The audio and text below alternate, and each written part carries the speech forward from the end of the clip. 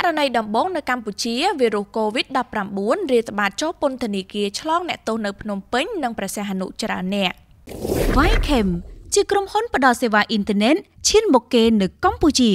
វីរុស COVID-19 បានឆ្លងចូលពន្ធនាគារនៅក្រុងភ្នំពេញនិងក្រុងព្រះសីហនុចំនួន52នាក់បើតាមការបញ្ជាក់ពីលោកនុតសវណ្ណាអ្នកនាំពាក្យអគ្គនាយកដ្ឋានពន្ធនាគារបានឲ្យដឹងថាកាលពីថ្ងៃទី20ខែឧសភាម្សិលមិញ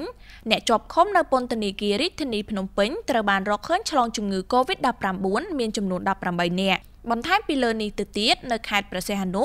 រកឃើញកាលពីដើមខែឧសភាមានចំនួន34នាក់ដោយឡែកអ្នកពាក់ព័ន្ធផ្សេងទៀតត្រូវបានរំលែកយកទៅដាក់អគារផ្សេងដាច់ដោយឡែកតាមការស្រាវជ្រាវជំហានដំបូងប្រភពចម្លងនៅពន្ធនាគារព្រៃសរគឺអាចផ្ដើមចេញពីកម្មករសំណង់ដែលដឹកសម្ភារៈចូលពន្ធនាគារដើម្បីសាងសង់សំណង់ផ្សេងផ្សេងចំពោះនៅខេត្តព្រះសីហនុវិញសង្ស័យឆ្លងចេញពីជនជាតិតៃវ៉ាន់ដែលជាប់ឃុំ នេះបើតាមការបញ្ជាក់បឋមពីលោកនុតសវណ្ណាអ្នកនាំពាក្យអគ្គនាយកដ្ឋានពន្ធនាគារ Vychem ជាក្រុមហ៊ុនផ្ដល់សេវាអ៊ីនធឺណិតឈានមុខគេនៅកម្ពុជា Food Panda ដឹកជញ្ជូនលើសពីអាហារមេកុងឡែនផ្ដើមជីវិតជោគជ័យនិងរីករាយនៅទីនេះ